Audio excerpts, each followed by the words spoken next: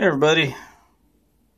I'm Having a little trouble with my computer. Apparently I've filled the hard drive to capacity, so I can't uh, upload.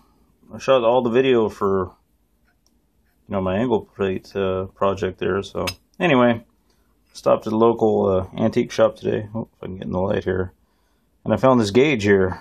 Uh, it says LE. I don't know if that's the guy who made it or a manufacturer but it's a, a numbered drill gauge. It goes from 1 up to 60. Oh, there we go. Well, the light really took off there. So, that was, uh, I don't know, 5 bucks. Thought that was a pretty screaming deal.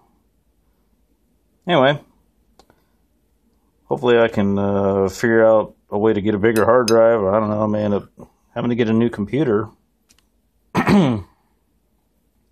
Gotta have room for more than just videos on there. Anyway, we'll see you around.